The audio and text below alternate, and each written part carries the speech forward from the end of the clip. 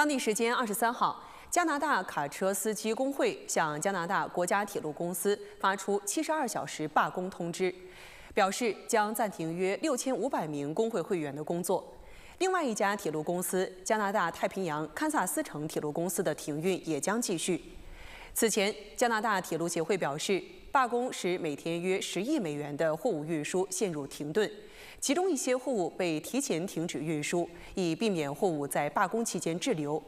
由于劳资谈判陷入僵局，加拿大两大铁路公司——加拿大国家铁路公司和加拿大太平洋堪萨斯城铁路公司，二十二号宣布关闭这两家公司在加拿大的铁路网络。